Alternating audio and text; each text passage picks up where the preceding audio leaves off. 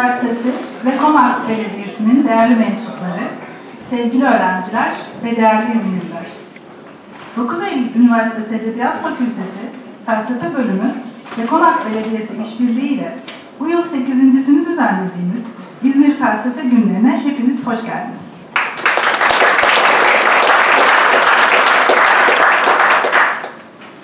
İzmir Felsefe Günlerinin bu yılki teması Doğruyu kim söyler? İyi, güzel, adil olana kim karar verir sorusudur. İki gün sürecek olan etkinliğimizin açış konuşmasını yapmak üzere 9 Eylül Üniversitesi Felsefe Bölümü Bölüm Başkanı Sayın Profesör Doktor Levent Aysever'i kürsüye arz ederim.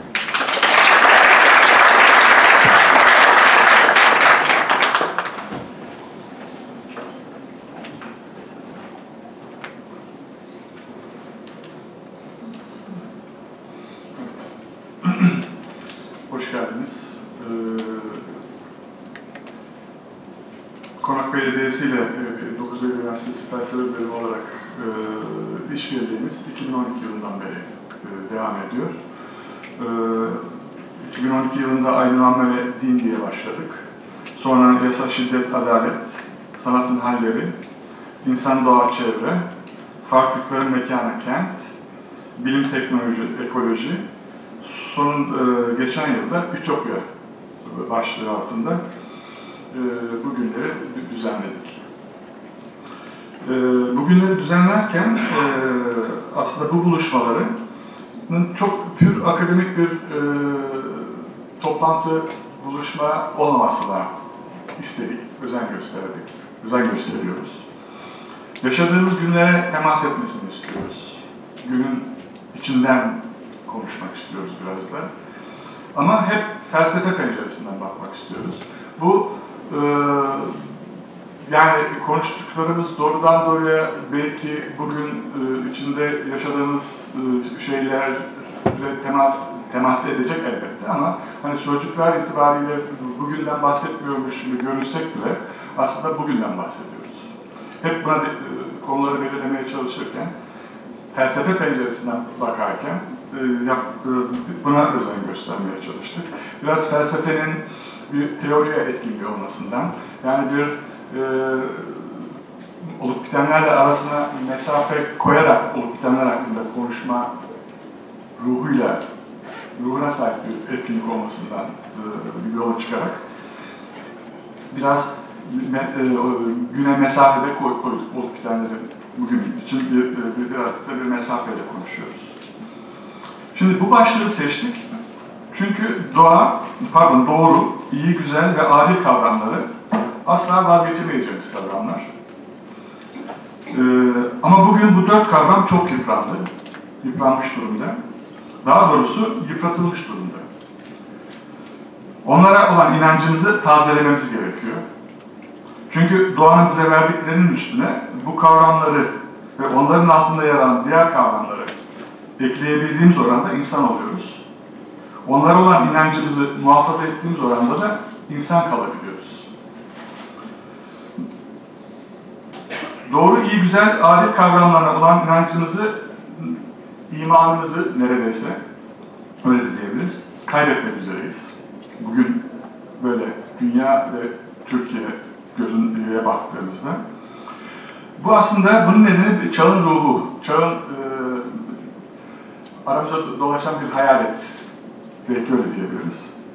Bunun adı da post-truth. Bu bir zihin durumu. Nedir bu e, post-truth dediğimiz zihin durumu? Şimdi bu, bu e, aslında e, iletişim ve siyaset bilimi alanda çalışanların çok tanıdık geldiği, tan, onlara tanıdık gelecek bir konu. Onların son zamanlarda çok yoğun biçimde üzerinde tartıştıkları bir konu. Bu konuda Türkiye'de çeviriler de var. Temel bir met, metnin çevrildi. E, Metni çevrildi. E, ama bunun dışında e, kitap çeviri çalışmalarının dışında bir takım özgün e, kitaplar da var.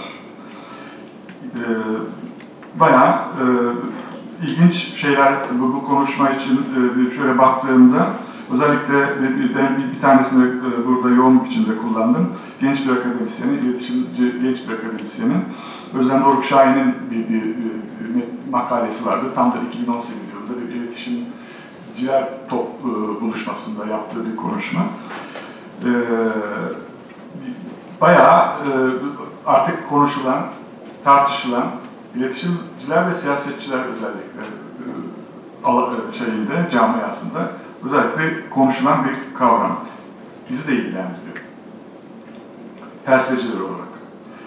Sözcüğün Türkçesi konusunda tam bir anlaşma yok. E, truth, e, hakikat anlamına gelen, gerçek, doğruluk, doğru olan diye yerine göre çevirebileceğimiz bir sözcük. Post bir örnek e, ve önüne konduğu adın ya da sıfatın anlattığı şeyin sonrasına, ötesine bir göndermede bulunuyor örnek olarak. Bunlardan dolayı terim gerçeklik sonrası, gerçek ötesi, post hakikat, hakikat ötesi, gerçek aşırı gibi Türkçe gibi Türkçeleştirenler var.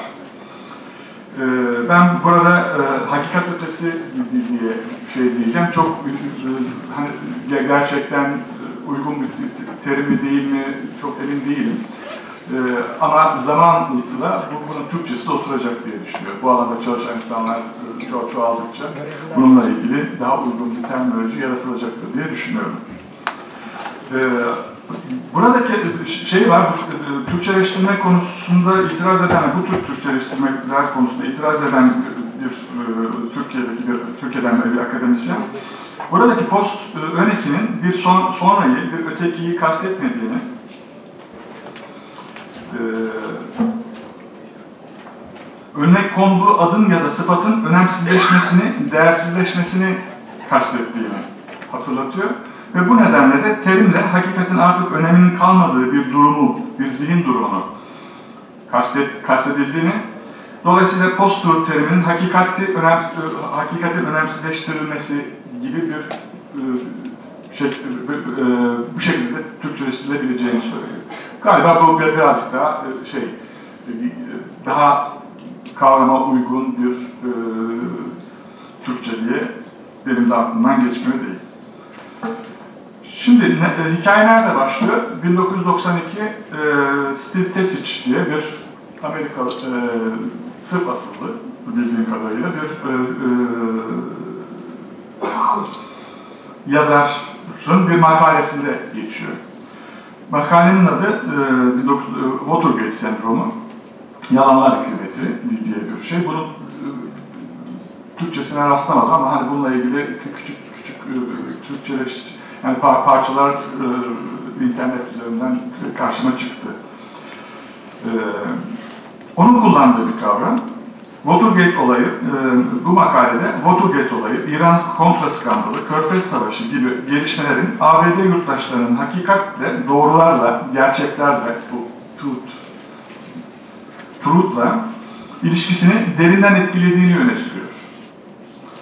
Bu gelişmeler sonunda insanlar şöyle diyor, bu gelişme bu gelişmeler sonunda insanlar hakikati, doğruyu, gerçeği kötü haberlerle aynı kefeye koymaya ne kadar doğru, gerçek ya da önemli olursa olsun bunları duymaktan rahatsız olmaya ve onlardan korkmaya başladılar. Şöyle devam ediyor. Bir, biz e, bizi hakikatten, doğrulardan koruması için yönetime güvendik. Bizler hızlı, totaliter canavarların ancak rüyalarında görebilecekleri türden bir halkın prototipleri haline geldik. 92 Körfez Savaşı zamanı arkada bir Watergate ve onun da e, arkasında bir e, Vietnam Savaşı. E, şu ana, şu ana kadar bütün diktatörler gerçeği örtbas etmek için çok çalışmak zorunda kaldılar. Bizler eylemlerimizle bunun artık gerekli olmadığını, hakikatin herhangi bir öneminin kalmadığını, e, bu, bunun manevi mekanizmasını da ruhumuza, yani ruhumuzla bunu alıştırdığımızı, yerleştirdiğimizi onlara söylüyoruz. Özgür olarak, özgür insanlar olarak hakikat dışı, gerçek dışı bir dünyada yaşamak isteğimizle, isteğimiz, e, yaşamak istediğimize kendi arzumuzla kar, karar verdik. 92'den sonra bu kavramın biraz uyuduğu görülüyor galiba. Bir 12 yıl sonra 2004'te bir kitap yayınlanıyor. Ralph Keyes bir makalesi, bir kitabı. Amerikalı bir yazar, akademisyen. Kitabın adı Post-Truth Era, yani post-truth dönem, çağ. Bu, bunun e, 2017'de kitabın Türkçesine çevrildiğini e, öğrendim. E, Hakikat sonrası çağ, günümüzün dünyasında yalancılık ve aldatma adlı bir başlıkla Türkçe'ye kazandırılmış bir kitap. O da tıpkı e, Tesiç gibi e, şöyle diyor. Vietnam Savaşı, Watergate olayı, İran kontra skandalı ve Körfez Savaşı ile resmi ağızlardan söylenen yalanlar toplumu ahlaken hissizleştirildi. Yalan ve yalancılar tarih boyunca hep vardılar. Ama bugün insanlar yalan söylemeye eskisinden daha meyilliler. Günümüzde yalan söylemek sıradanlaştı, kolaylaştı ve insanlar açığa çıkan yalanlar karşısında giderek daha fazla duyarsızlaştı. Kendi cümleleriyle bizzat yalanlar şimdiye kadar tereddüt edilerek bol miktarda kaygıyla, bir parça suçlulukla, biraz utançla, en azından e, az biraz mahcubiyetle söylenirdi.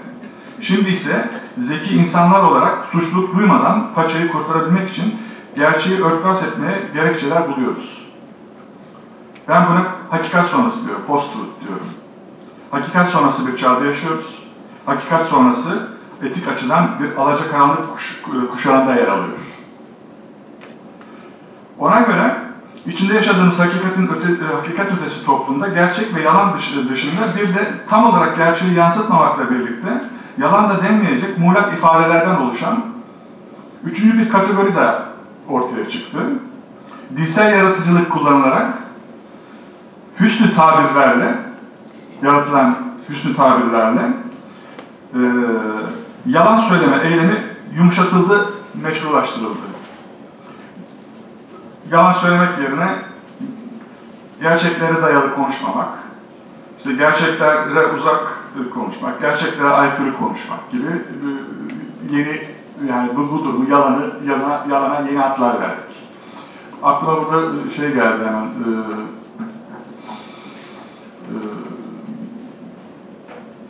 e, Ali Sunal'ın bir programı vardı. O orada e, geçenlerde e, hani zamlar diye ya da şöyle zam, zam fiyat ayarlaması yapıldı Zaman adı fiyat ayağı. Buna benzer bayağı böyle çok hoş bir skeç de vardı. Ee, YouTube'da karşıma çıktı bir ara. Şimdi e, 2016 yılı, 2014, 2016 yılına geliyoruz. 2016 yılında iki şey var. Haziran'da Brexit referandumu, Kasım'da e, Birleşik Devletler e, Başkanlık seçimi, ee, bu, bu e, Haziran ayında Birleşik Krallık'ta Avrupa Birliği üyeliğinin onaylandığı Brexit referandumu öncesinde ve Kasım ayındaki e, Birleşik Devletler e, Başkanlık seçimleri öncesinde sosyal medyada dolaşarak bilgilen yalan haberlerin ve asılsız içeriklerin seçim sonuçları üzerinde etkili olduğu iddiaları büyük bir yoğunluk kazanıyor. 2016 yılı. Terim Brexit referandumu ile Amerika başkanlık seçimlerinin siyasi atmosferini nitelendirmek için kullanılmaya başlıyor. Sonuç, hakikat ötesi terimi, post terimi deyimlerinde ise patlıyor. Ne demek bu? 2016 yılında bir önceki yıla göre yüzde 2000 kullanım oranına, daha fazla kullanım oranına ulaşıyor. Şimdi Oxford'un e, ne zaman başladılar bilmiyorum ama bir yılın sözcüğü e, seçmek diye bir e, şeyi var. Bir, bir geleneği ya da vardı ya da yeni oldu. Böyle bir sürece girdiler. 2016 yılında bunu yılın sözcüğü diye seçiyor. seçiyor. Ve şöyle tanımlıyor.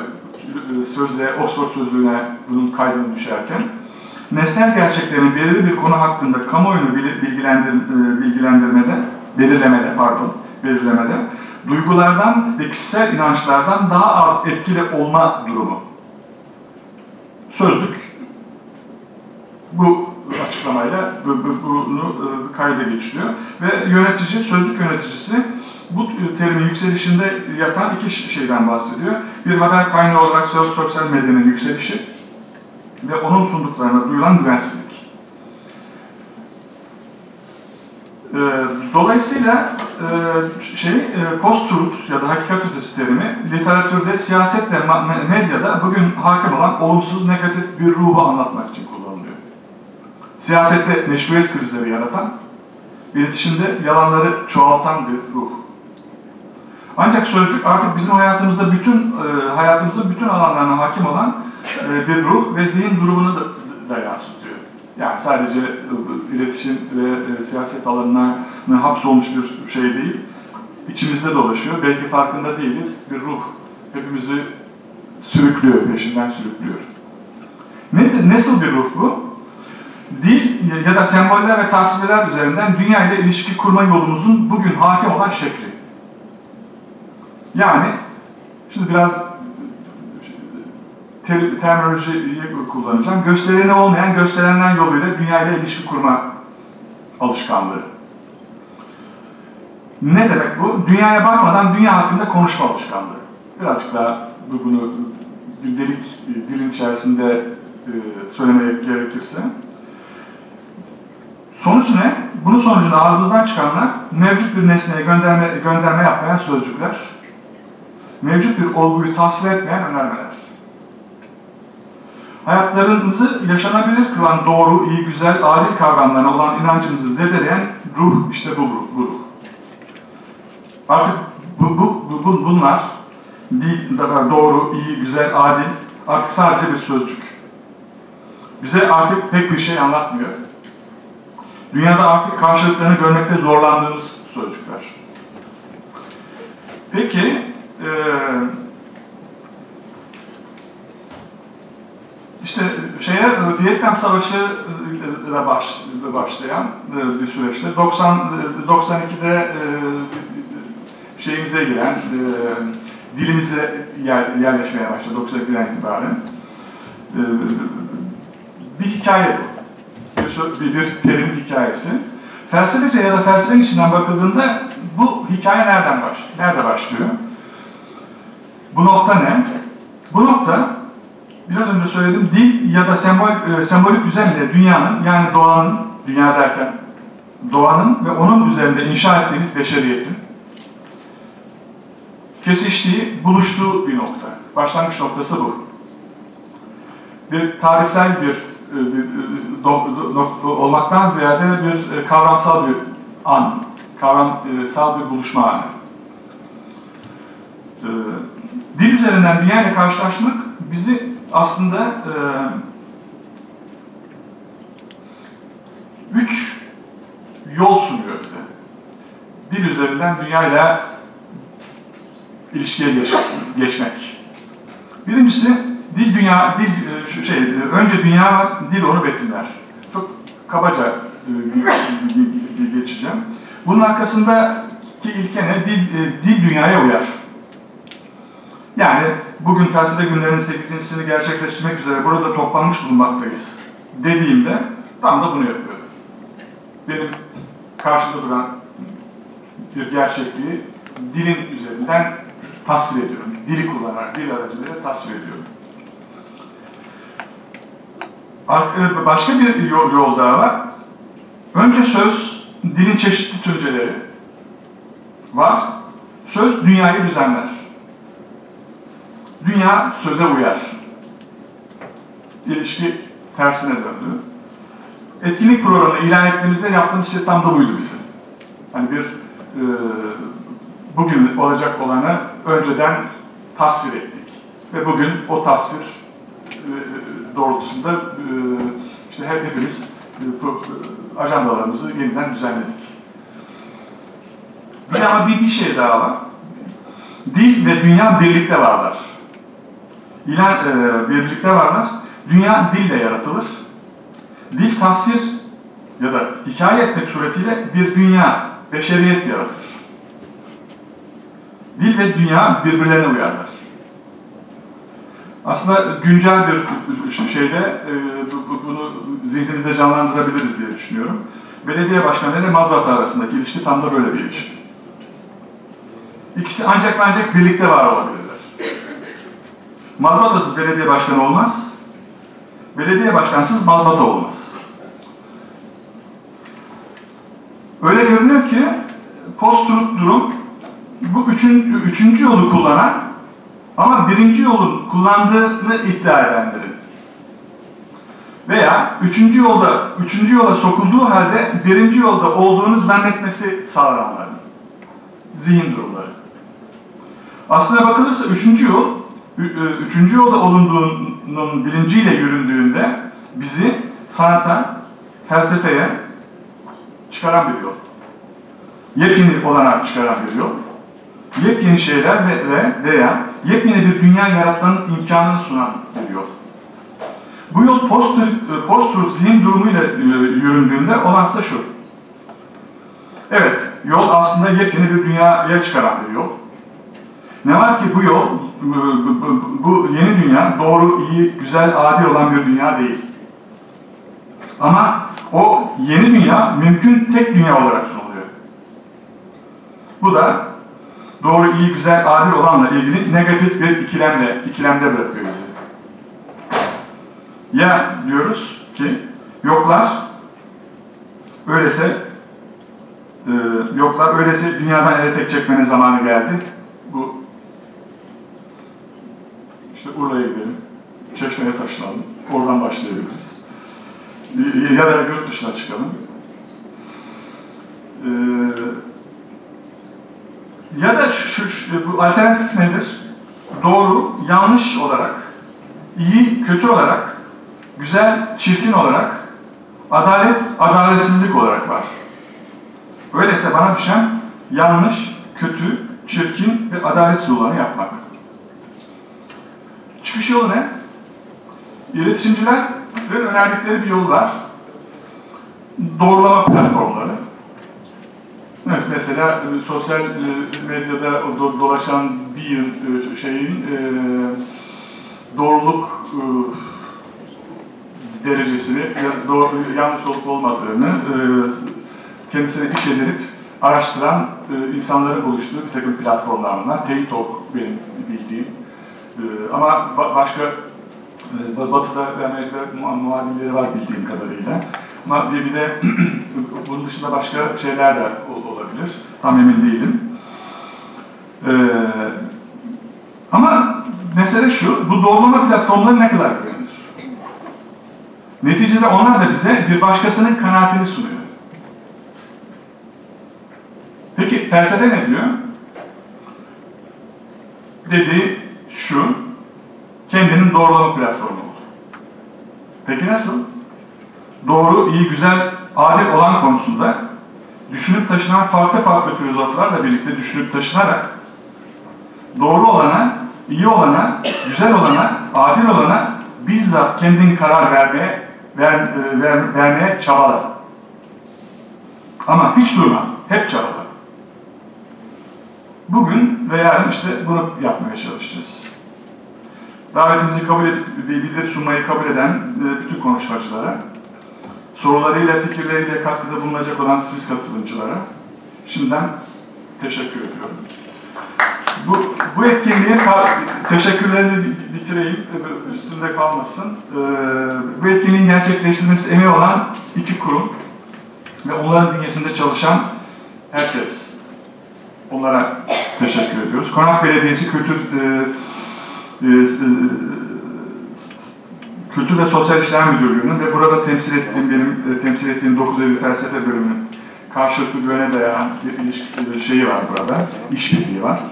Öncelikle Konak Belediyesi'nin yeni başkanı Sayın e, Abdül Batur'a desteklerinden dolayı teşekkür ediyorum.